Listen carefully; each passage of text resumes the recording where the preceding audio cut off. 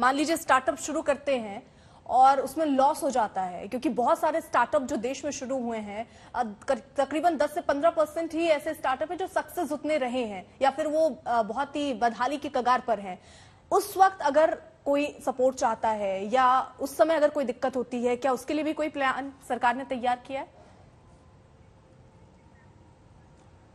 देखिए, हमने स्टार्टअप का पूरा स्टडी किया और स्टार्टअप ऐसे लोगों द्वारा इस स्टेज में जाके बनाए जा रहे हैं जब उनके ऊपर किसी नौकरी करने का अर्निंग करने का बहुत प्रेशर रहता है। इसीलिए हमने इसको इलेवेंथ एंड ट्वेल्थ से शुरू किया कि अगर आप फेल भी होते हैं तो वी आर रेडी हम सरकार की तरफ़ से इन्वेस्टमेंट दे रहे हैं और बच्चों को कह रहे हैं कि आप अपना आइडिया लेके सक्सेस होकर दिखाइए। और अगर फेल भी होते हैं तो फेलियर से सीख के दिखाइए। फेलियर से सीख के एक बड़ी जीत की तरफ़ आगे बढ़िए। हम्म, लेकिन जरा ये बताइए ना अगर ट्वेल्थ के बाद कोई बच्चा आप पाते हैं कि उसके अंदर वो स्किल है कि वो स्टार्टअप शुरू कर सके वो शुरू भी करता है खुदा ना खास्ता पाँच छह साल बाद नहीं चलता उसका स्टार्टअप तो क्या आगे की हायर एजुकेशन में दिक्कत नहीं होगी नहीं हायर एजुकेशन तो मेरे ख्याल से वो पाँच छह साल में पूरी कर चुका होगा हम इसीलिए उसको हायर एजुकेशन में एडमिशन भी दिला रहे हैं ना जो इसके नहीं, अगर ट्वेल्थ के बाद भी शायद आप कह रहे हैं, अच्छा अगर मैंने सही सुना, सर। सीधे यूनिवर्सिटीज में. हाँ ट्वेल्थ के बाद हम उसको हायर एजुकेशन में उसको एनएसयूटी डीटीयू जैसी यूनिवर्सिटीज में उसको एडमिशन दिला रहे अच्छा। हैं जहाँ वो बीबीए के प्रोग्राम में आराम से बीबीए कर सकता है। और बीबीए में के दौरान भी उसके पास इन्वेस्टर रहेगा यूनिवर्सिटी लेवल पे उसके इंक्यूबेशन सेंटर रहेगा उसको बिज़नेस कोचिंग होती रहेगी। साथ साथ वो अपनी डीटीयू या एनएसयूटी या आईजी डीटीयूडब्ल्यू या आईपी यूनिवर्सिटी जैसी प्री, प्रीमियम यूनिवर्सिटी से कॉलेजेस से वो अपनी पढ़ाई पूरी कर सकता है। पढ़ाई करने के बाद उसके पास ऑप्शन है वो चाहे तो बिज़नेस भी कर सकता है चाहे तो नौकरी भी कर सकता है बट इस चार पाँच साल में मुझे पूरा यकीन है कि वो बच्चा अपने बिज़नेस को लेके इतना आगे बढ़ जाएगा कि वो आने वाले दस साल में अ, किसी इसका या इस जैसी किसी बड़ी कंपनी का सीईओ होगा बड़ी कंपनी का प्रमोटर होगा। इसीलिए मैंने आपसे कहा कि हम ये मान के चल रहे हैं कि आज से दस साल बाद जो सफलतम कंपनियाँ होंगी देश की उनके सीईओ आज की तारीख में हमारे स्कूलों में हैं और हमको उनको स्कूलों में सीईओ की तरह से पढ़ाना चाहिए ना कि एक जॉब सीकर के तरीके से।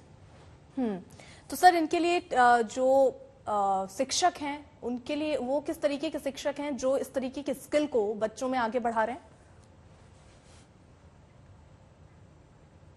हमारे टीचर्स हैं, उनको पिछले चार पाँच साल में हमने ट्रेन किया है, हमारे प्रिंसिपल्स हैं जिनको हमने आईआईएम से स्पेशल ट्रेनिंग्स दिलवाई हैं स्कूल चलाने के लिए और इस तरह के एजुकेशन के लिए।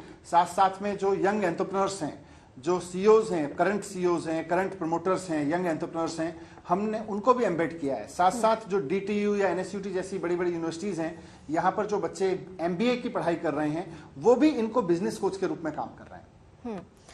ठीक है, सर, ये बहुत ही अच्छा प्रोग्राम है और ज़ाहिर तौर पर बच्चों की स्किल इससे बढ़ेगी। कोरोना के लिए, सर, मैं पूछूँ, क्या तैयारियाँ हैं दिल्ली सरकार की?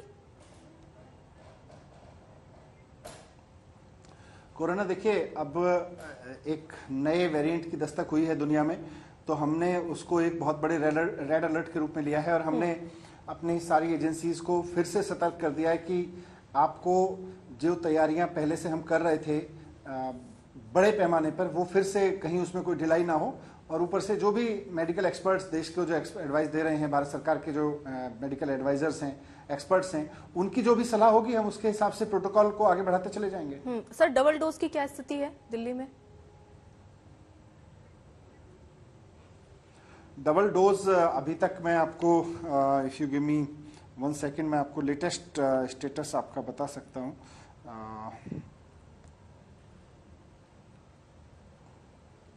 वन सेक मेरे पास आज का शाम का छियासी हज़ार लोगों को सॉरी छियासी लाख लोगों को डबल डोज लग चुकी है और एक एक करोड़ सैंतीस लाख लोगों को सिंगल डोज लग चुकी है। तो ये काफ़ी सेटिस्फैक्ट्री है। अभी हमने अपने जो वैक्सीनेशन की टीम्स हैं उनको भी अलर्ट किया है कि जितना जल्दी हो सके उतना जल्दी और मैक्सिमम लोगों को जिनका टाइम पूरा होता जा रहा है बिकॉज़ डबल डोज के साथ टाइम पीरियड भी इंपॉर्टेंट है। तो जैसे जैसे टाइम पूरा होता जा रहा है कोई भी आदमी ऐसा ना बचे जिसका टाइम पूरा हो गया है और उसको अभी डबल डोज नहीं लगी है। हम्म, लक्ष्य सर कुछ तय किया है कि इतने महीने या एक महीने दो महीने में दिल्ली वासी पूरे डबल डोज ले चुके होंगे? हमारा टारगेट है कि हमारे पास में कुल जो टारगेट है हमारा वो डेढ़ करोड़ लोगों को डबल वैक्सीनेट करने का है।